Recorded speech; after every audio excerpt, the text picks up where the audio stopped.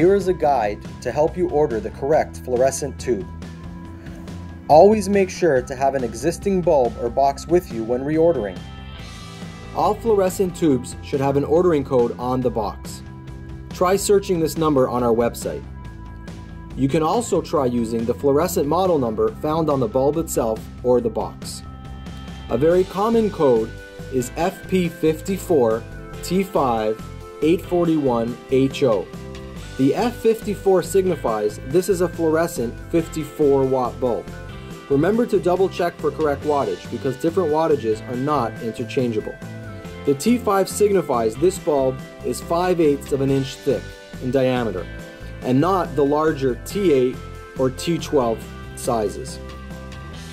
Finally, the 841 designates the color of the light.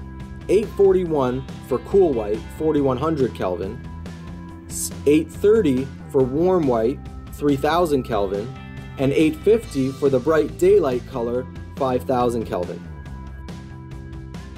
Finally, double check your bulb's length.